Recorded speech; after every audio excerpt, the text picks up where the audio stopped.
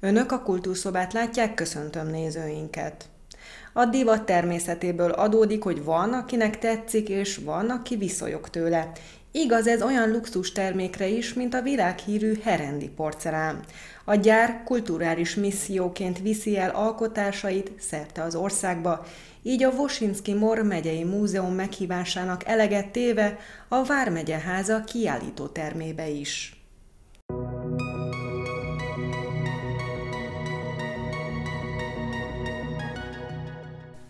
A porcelán a kerámiai par legnemesebb anyaga. A kínai Hontan tartományban találták föl a Tang dinasztia idején, majd igazán népszerűvé a 14. századtól a császári porcelán készítő manufaktúrák tették. Az első kínai porcelángyárakat a középkori keresztes lovagok hozták el Európába, ahol azokat szépségük és különlegességük hamarosan rendkívül népszerűvé tett. Magyarországon a porcelán gyártása viszonylag későn csak a 19. században indult meg. Az első porcelángyárat 1827-ben alapították. A legjelentősebb magyar porcelángyár a Herendi, amit 1826-ban alapított Stingl Vince. Azóta a Herendi porcelán az egész világot bejárta, és olyan magas minőség képviselője, mely abszolút luxus tette. A gyár most a Wosinski Mor megyei múzeum meghívásának elegettével hozta el a kollekciójának néhány darabját. Gyakran teszik fel a kérdést, hogy mi a herendi porcelán sikerének a titka, és mi mindig elmondjuk, hogy erre nem lehet egyetlen mondattal, egyetlen szóval válaszolni. Sok-sok tényező együttes hatása kellett és kell ma is ahhoz, hogy a herendi porcelán a világ minden pontján ismert és elismert márka legyen. Ha mégis számba veszük ezeket a sikertényezőket, akkor úgy gondolom, hogy mindenképpen kellettek a világkiállítási sikerek. Kezdődött ez a 19. században, az első legjelentősebb az az 1851-es londoni világkiállítás volt, ahol is Viktória királynak annyira megtetszett a herendi, hogy egy egész készletet rendelt a Windsori kastélya számára. És a világkiállítások sora folytatódott Bécsben, Párizsban, Szentpéterváron, és folytatódik mind a mai napig, hiszen évente több tucat kulturális kiállítást rendezünk. Csak hogy a közelmúltból említsek néhányat, nagyon örülünk annak, hogy bemutatkozhattunk Szentpéterváron, Cárszkoje Szelóban, a cárok egykori nyári rezidenciáján, moszkvai Kremben, aminek rangját és méltóságát mutatja, hogy so egyetlen más magyar márkának kiállítóként még nem sikerült a Krem falai közébe kerülnie. De ugyanígy említhetném japánbeli kiállításunkat, ami a tavalyi esztendőben Tokióban fejeződött be, egy két éves kiállítás sorozatot követően. Erre mondják, hogy ha egy üzlet beindul. Simon Attila azt mondja, valóban szükség volt ahhoz, hogy a helendi világsikert érjen el az, hogy az angol királyi ház megrendelők sorába lépjen, mert ez nyitott meg olyan kapukat, melyeken egyébként szinte lehetetlen lett volna belépni. Island Manufaktúra 2001 óta a magyar örökség része. Nagyon büszkék vagyunk arra, hogy 2006-ban egy New Yorki felmérés szerint, a Luxury Institute felmérése szerint Herend volt a legismertebb porcelánmárka az amerikai piacon. Aztán nagyon büszkék vagyunk arra, hogy Herend 2011 óta a Francia Luxusipari Szövetség, a Comité Colbert eh, tagja, amelybe csak eh, francia eh, és más rendkívül fontos multinacionális márkák jelennek meg. Herend az egyetlen porcelán gyártó manufaktúra, amely közép-kelet-európában ennek a Komite Kolbernek a tagja lehet, és Magyarországon nincs más cég, amely a Komite Kolber Luxusipari Szövetségnek a tagja lehetne. Miközben a divat folyamatosan változik, vannak dolgok, melyek mindig az exkluzivitást és a magas minőséget képviselik, függetlenül attól, hogy a fogyasztó ezt értékesnek vagy uram csesnek tartaná. Így van ez a porcelánnal is, mert hát egy herendi állatfigura mondjuk egy csipketerítőn a tévé tetején biztosan más-más hatást vált ki a befogadóból.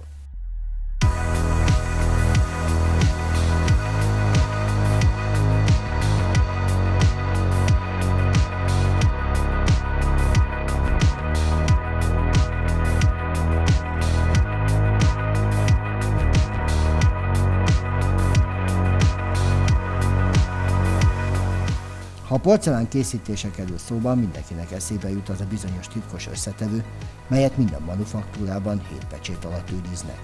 Így van ez Herend esetében is. A Herendi gyárban 16 ezer fehér formával, 4 ezer festett mintával, és figyelem, nem tévedés, 64 millió különböző termékkel rendelkeznek. Aki szereti a porcelánt, ebből biztosan tud olyat választani, mely vitrínjének dísze lehet. A tradíció mellett az innovációnak is meg kell jelennie. Herend abban különbözik más manufaktúráktól, hogy nem a múltját akarja apró pénzre váltani, hanem folyamatosan keresi az újat, keresi a jövőt. A termékfejlesztésünkben kérdésére válaszolva meghatározó a stílus teremtő munka, arra próbálunk törekedni, hogy ne mi kövessünk másokat, hanem mások kövessenek bennünket. És ebből az is következik, hogy Herendi manufaktúra a maga műalkotásaival ma már a világ porcelán ízlésvilágát tudja és akarja is formálni, alakítani. Minden esztendőben elkészítjük azokat a, a trendeket, amelyeket abban az évben, esztendő, abban az évben, abban az esztendőben követni akarunk, és napjainkban például az aranyat egyre gyakrabban a platina váltja fel, amely a mai kor ízlésvilágának nagyon megfelelő, nagyon ízléses. Miközben Helenda divatot akarja diktálni a népek és étkészletek távak világában, próbálja megérteni a jelenkor ízlés világát is. A világ építése mellett Helenden tradíció az a kulturális misszió is, mely abból áll, hogy minél szélesebb körben mutassák be a határon belül is ezt a kulturális értéket, melyet Helend jelent. Így került sor a szexádi bemutatkozásra is. Egy óra belőlünk címmel rendeznek minden esztendőben bemutatót a Szexádi Garai János gimnáziumban. Az iskola egykori diákjai által létrehozott rendezvény célja a népzene és komoly zene megszerettetése a hallgatósággal, miközben a fellépő diákoknak, zenekaroknak is lehetőséget ad a bemutatkozásra. Mit ír a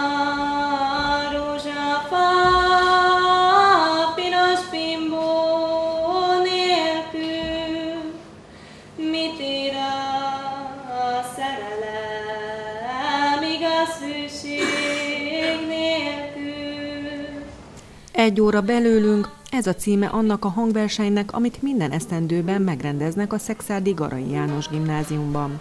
A Citera zenekar egy délalföldi csokrot hozott erre az alkalomra.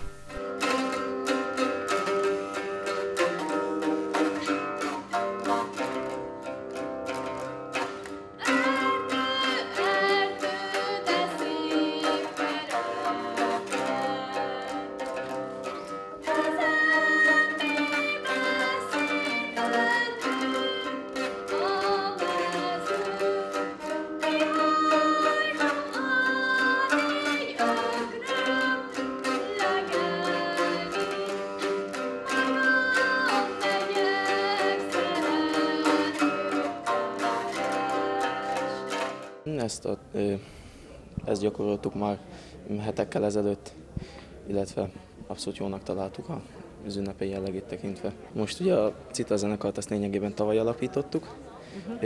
Én ugye 11-es vagyok, már kétszer volt lehetőségem itt zenélni. A 9. osztályban még szólóval, illetve tavaly már, mikor már létrejött a Cita zenekar, akkor már ketten léptünk föl. Nagyon jó hangulatú, színvonalas rendezvény. Mire ad lehetőséget? Ez, hogy megmutathassuk a tudásunkat, megmutathassuk, hogy mivel foglalkozunk így az intézmény keretein belül.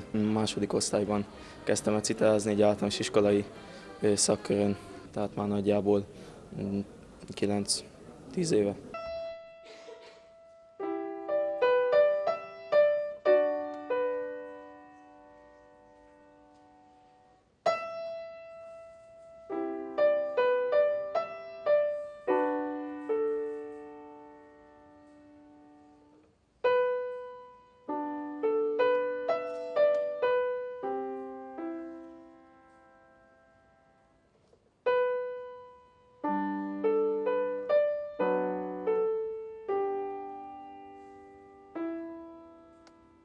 Sándor Zsigmond 10. D-osztályos tanuló Bartok Béla Este a Székelyeknél című darabját adta elő a nagy érdeműnek.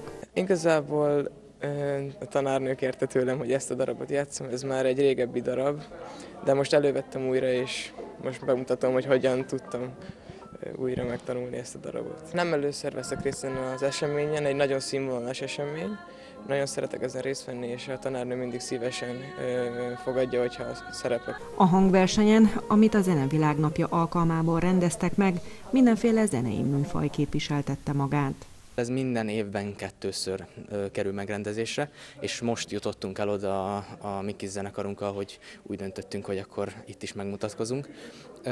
A mi zenekarunk pedig két éve alapult. Igazából mm, így zenészi körökből ismerjük egymást, és úgy döntöttünk, hogy szeretnénk valami új stílus irányzatot alkotni, és egy újabb stílust megmutatni az embereknek, és ezt a fúvós zenét egy kicsit belevinni a, a diákság körébe, és ezért alakult igazából a Human, a mi zenekarunk.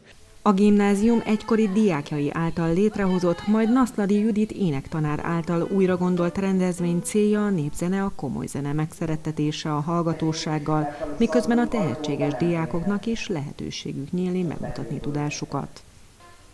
Arra gondoltam, hogy azok a diákok, akik esetleg nem versenyeznek, de szívesen bemutatkoznának. Ez egy kiváló alkalom lenne, nem titkolt céllal, megnyerve a népművészetnek, a népzenének, a komoly zenének, és itt akkor bábuzó diákokat, balettos diákokat is hívtam szeretettel, és most már vannak, akik eleve ha felvételt nyernek a gimnáziumba, akkor tudják, hogy számíthatnak arra, és meg is keresnek.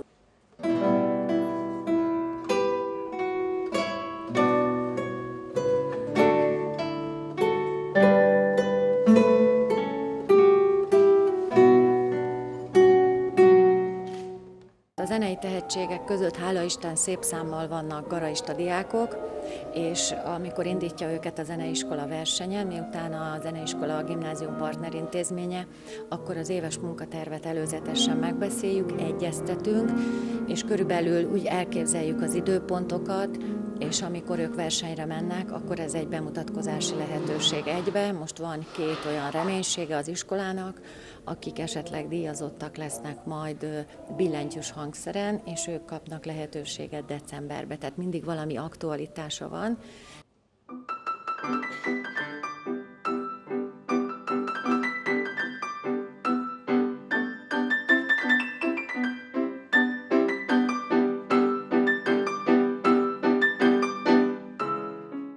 Egyre többen vesznek részt kulturális programokon szerte az országban.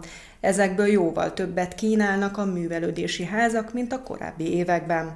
A Szexádi Babics Mihály Kulturális Központ 2018-ban 4144 esemény szervezett, ami 200-al több esemény, mint 2017-ben. Erről is szó volt azon a szakmai konferencián, amin az ország 80 kulturális intézményvezetője vett részt. A konferenciák mellett nagyon fontosak az életünkben a szakmai műhely találkozók. Az őszi közművelődési konferencia és közgyűlés fókusz témája az együttműködés és partnerség volt. A kétnapos rendezvénynek nem véletlenül volt Szexárda helyszíne. Elsősorban azért, mert büszke lehet a helyi kulturális központ a működésére, és arra a gazdasági és piaci helyzetre, amit bevezettek. Részletezte Zsikó Zoltán, az intézmény igazgatója, aki a konferencia előadásában kifejtette, hogyan tud a kultúra sikeresen, piaci szemlélettel működni. Ahogy mondta, Szexárdon a vállalkozások és a helyi emberek magukénak érzik a kulturális központ működését. Ez nekünk a gyakorlatban annyit jelent, hogy az a szponzorációs modell, amit kidolgoztunk, az gyakorlatilag lehetővé teszi azt, hogy a fesztiváljainkat, a rendezvényeinket nagyon-nagyon komoly mértékben ezek a helyi vállalkozások támogassák, és ilyen módon kifejezzék a, a munkájukat és a, az együtt gondolkodásukat a Babicsal és a várossal. De a látogatói hűségprogramnak is az az érdeke, hogy nyilvánvalóan erősítse és jobban kösse a látogatókat adott esetben egy intézményhez. Ugye itt a Metropolitan Egyetem hallgatói tartottak előadást erről, én azt gondolom, hogy egy szép irányt határoztak meg, én most ezt nem kívánnám kifejteni, ezt, ezt az irányt, de nyilvánvalóan mindenki azon dolgozik és azon törekszik, hogy a lehető legjobban helyi, specifikus eszközökkel megfogja a közönséget, és egyébként vonzóvá tegye az intézményét, és egyébként pedig odaszoktassa, aztán pedig ott tartsa, és tényleg egy törzsvásárló, egy folyamatos párbeszédet alakítson ki a helyiekkel és az érdeklődőkkel. Az elmúlt 6-8 évben könnyebb fenntartani a kulturális intézményeket, mint előtte. Ezt már Szente Béla, az Országos Szövetség elnöke mondta, aki szerint soha nem látott mértékben támogatja a magyar kormány a kultúrát. A legelső növekedés az Agora program után következett, amikor az ország számos kulturális intézményének épülete megújult. A látogatottság szempontjából azt hiszem, hogy ezek az Agora programok döntő változást hoztak. Itt Szexádon is, de az ország más városaiban. Én Békés Csabán vagyok igazgató, egy hasonló Agora intézménynek vagyok a vezetője, és mi is azt tapasztaltuk, de itt is ez a tapasztalat, és amelyre megyünk az országba, az Agorákba, hogy egy közönségbum keletkezett abból, hogy egy ilyen infrastruktúrális, nagy, nagy mérvű infrastruktúrális változás történt, 21. századiak lettek ezek az intézmények, és ezt a közönség meghálálja. Ezek az intézmények tele vannak rendezvények, rendezvények hátán, és közösségek, közösségek hátán, és, és nagyon, nagyon kihasználtak. Egy nagyon, nagyon megnövekedett a közéleti funkció, nagyon sok olyan esemény van, ami, ami a helyi társadalomnak a nem feltétlenül kultúrához, hanem más részeihez is lehetőségeket biztosít. Ezek, ezek mind sok látogatót vonzanak. Most már vidéken is elérhetőek a nagyszabású rendezvények, mivel arra törekednek a kulturális intézmények vezetői, hogy a látogatók igényeit kiszolgálják. A mi intézményeink nagyon széles palettát tudnak felmutatni.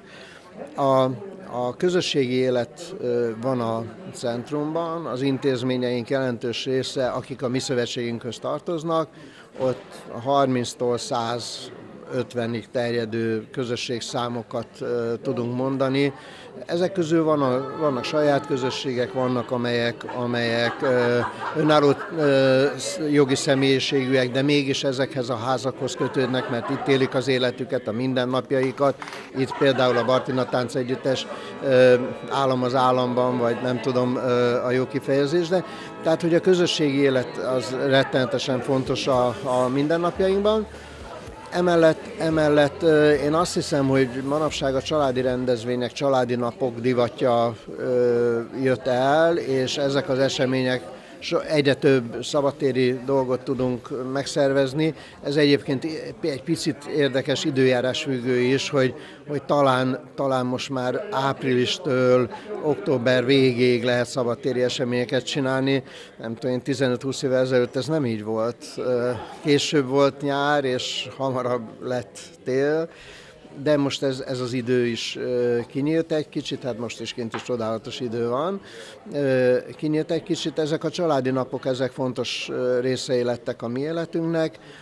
Ezen kívül a nagy intézmények, például az Agora típusúak, elég sok olyan produkciót mutatnak be, amelyek korábban nem tudtak eljutni például vidékre, mert nem voltak meg a feltételei, nem volt elég nagy a terem, nem volt elég nagy a színpad, és, és most nem tudom én, a Killer Queen produkció, ami most érkezik Magyarországra több agórában ott lesz.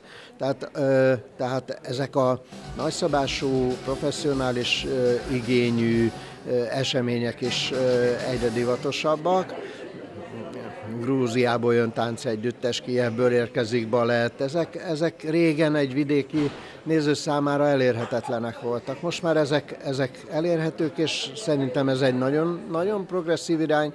És természetesen nekünk feladatunk az, hogy mindig a közönség igény fölé menjünk egy picivel, amennyire lehet, de mindig egy picivel emelni kell, és hát ezen való fáradozásaink a színház területén, a, a zene területén természetesen a, a mindennapi feladataink közé tartoznak. Évről évre nő a kulturális intézmények látogatottsága, ezzel pedig a meglátogatható programok száma is. 2018-ban 4144 eseményt szervezett a Szexárdi Babics Mihály Kulturális Központ. Ez 200 eseménnyel több, mint előző évben, 2017-ben. A tendencia az idei évben is növekedés mutat.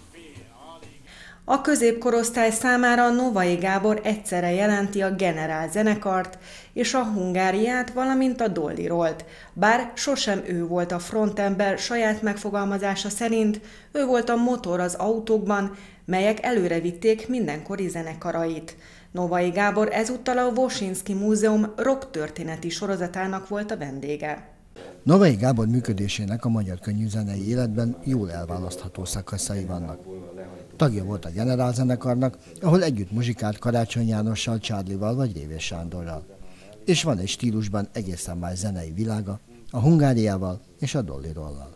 Ő egyébként az összetartó erő, valahol egy kicsit a kovásznak nevezném őt a, zenekarunkban. Ez nagyon érdekes, hogy ő sohasem volt frontember, nem ő állt sosem a, a az érdeklődés leginkább leg, központjában, hanem, hanem ő volt az, aki ö, kicsit a, a, a a motorja is volt, meg egy kicsit a, az esze is volt a csapatoknak. Tehát az, hogy valaki egyszerre és szöveget is, meg zenét is mondjuk egy zenekarban, az elég sokat elárul a személyiségéről. Novai Gábor ilyen volt a, a Hungáriában is, és persze rengeteg számot írta a generálban is. És hogyha kicsit az emberi oldaláról nézzük, akkor pedig az ő habitusa is olyan, hogy hallgatnak rá az emberek. Tehát ő tud lenni a nyugodt erő. Amikor egy kicsit elszalad a ló, mondjuk egy Fenyő Miklóssal, vagy egy Szikora Róbertel, vagy akár egy Révész Sándorral, vagy egy Csárlival, akkor ő tud lenni a, a, a nyugodt erő, és ő tudja lecsillapítani a kedélyeket, és aztán utána tudja mutatni, hogy mi a következő, illetve az azt követő feladat. Tehát ilyen szempontból azért az ő személye megkerülhetetlen egyébként, akár a generál, akár a Hungária, vagy akár a Dolliról történetében. Novai számára nem annyira szöges az ellentét a két zenei világ között. Azt mondja, aki imádja a muzsikát, minden stílusban megleli a maga örömét. A, a, aki jó zenél, vagy vagy, vagy szereti a zenét és imádja, magát a, talán a művészetet is, vagy talán a, csak a zenét úgy általánosságban, annak egy-egy műfajból átállni nem olyan nehéz. Én azért nem tartom olyan nagy különbségnek. Bár sokan megkérdezték, hogy hogy lehet egy ilyen funkis generálból átmenni rock and rollba, és ö, először azt mondták, hogy igen, hát ö, teljesen más műfaj, de, de azért én látok összefüggéseket azért e, a, a két zenei világ között. A töve egy amerikai zene, ugye az, az kell adaptálni ugye a magyar ízlésnek, úgyhogy ebben, ebből a szempontból tulajdonképpen nem egy olyan nagy dolog átállni. Az egy, mind a kettőnek megvan a, a nehézsége. Az egyiknek ugye a hangszeres tudás, azt kell fejleszteni a funkinál, vagy a, a, a, a ritmikai képzést kell, arra rá kell állni, arra, arra a, a ritmikai világra. A Hungáriánál például, ahol, ahol nem az volt a fő szempont, hogy, hogy, hogy, hogy ritmus, hanem sokkal komplexebb és sokkal, sokkal nehezebb volt az, hogy, hogy játszottál, énekeltél, vokáloztál, közben foglalkoztál minden mással, a, a, a, a zenekarnak a reklámozásával, az, hogy különböző helyekre kellett bejárnunk, különböző irodákat kellett megismernünk, meg kellett ismerni a szerződésformákat például. Tehát egy ilyen komplexebb, ilyen polihisztor-szerű, ja, és, a, és a hangtechnika, ugye ott volt a, a, a hangtechnika, a fénytechnika és az, az egész olyan szakmai dolog, amire ugye az ember most már nem gondol, mert ugye mindent külön csinálnak ma már. Nem volt egyszerű dolga egyik csapatában sem, hiszen karizmatikus egyéniségek vették körül minden formációban. A Hungáriában azért volt hat ész, ugye mindenki a maga nemében zseniális volt, és mindenki maga nemében egyedi volt és megismételhetetlen, egyéniség, ha úgy tetszik, így Novai Gábor is, de és ezt ő is meg tudta mutatni a Casino Twistben, amikor ő énekelte. Sokan azt hiszik, hogy a Fenyő Miklós énekelte, nem azt a Novai Gábor énekli. Minden egyes lemezen énekelt egy olyan dalt, ami egyébként emblematikus száma lett a Hungáriának. De mind a mellett pedig azért igen, tehát neki kellett egy komoly háttérmunkát is végezni. Nem véletlen, hogy jelen pillanatban is, vagy a Hungária feloszlása után is sok-sok éven keresztül ő azért a Fenyő Miklós produkcióknak is a zenei rendezője volt, vagy ha úgy tetszik, akkor még inkább a producere volt. A Hungária volt a legnagyobb siker, az ugye az, amikor a Limbo Intóval megnyertük a a fesztivált, ugye az én barátom és társszerzőm Fenyő Miklós akkor el se akarta hinni, hogy, hogy mi, mi leszünk az elsők, pedig már ott álltunk a, a, a bejövő folyosón, és már azt vártuk, hogy na mikor fogják bemondani, hogy, hogy mi leszünk, akkor, akkor az, az egy hatalmas nagy siker volt, attól kezdve országos népszerűségre tettünk szert, és ez tartott három évig. A generál meg azért volt nehéz, és azért volt jó, mert ugye nemzetközi sikereket értünk el, megnyertük itt a Kimi tudott 72-be, és utána bejártuk az egész keleti tábort, nyugati tábort, Szibériától a Hilverzumi milliómos negyedik Hollandiáig, úgyhogy mi ott, ott meg az volt a nehéz. Novaitól nem áll messze a tehetségek gondozása sem. De felejtsük el, jó, a rendszerváltás után még egy kiadónak is volt a zeneigazgató, ezt úgy hívták, hogy Rákóczi kiadó, és hosszú életet nem élt meg, de akkoriban melyik kiadó élt meg sok, sok időt jöttek a multik is, megvásároltak mindent. Azonban évről évre, vagy időről időre felfedezett újabb és újabb tehetségeket, és, és azok viszont befutották a maguk pályájukat. Tehát, és nyilván ezek már lezárt pályák is, nyugodtan mondhatunk például egy unisex együttes, a 90-es években óriási sztárcsapat volt, Novai Gábor fedezte fel, vagy Sugár Berci még a 90-es évek elején, ő is a felfedezetje volt, de Novai Gábornak, de hogyha azt veszük, hogy a padödőnek a Bye Bye szásáját is Novai Gábor írt, akkor azt kell mondjuk, hogy még a rendszerváltás környékén is letette a névjegyét a, zenei, zeneművészeti alkotó tevékenységével, és hát nem beszélve arról, hogy most már több mint másfél évtizede a Marút Viki és a Nova Kultúr zenekar is a népszerűségének szerintem mostanában vannak a csúcsukon, és még ki tudja, mi lesz ezután persze, de folyamatos meghívásoknak tesznek eleget, három számjegyű a koncertjeiknek a száma évente. Úgyhogy azért ez eléggé beszédes adat. A végén arra is kíváncsi voltam, mit gondol saját magáról, saját szerepéről zenekaraiban. Én voltam a motor, tudod, a motort, hogyha úgy vesszük, én ugye mindent egy autóhoz viszonyítok, mert az autónak van karosszériája, az a énekes és a zenekar kinézete, és van a motor, aki hajtja az egészet. És én, én, én voltam a motor minden, minden együttesembe. Most a Marotvik és a Nova Kultúrban is én vagyok a motor. Tehát, de a motor az nincs, nincs szem előtt. Tehát a, a motort azt nem nagyon ismerik, csak a felnyitják a, a motorháztetőt. És, és ugye sokan a karosszíria alapján veszik meg az autót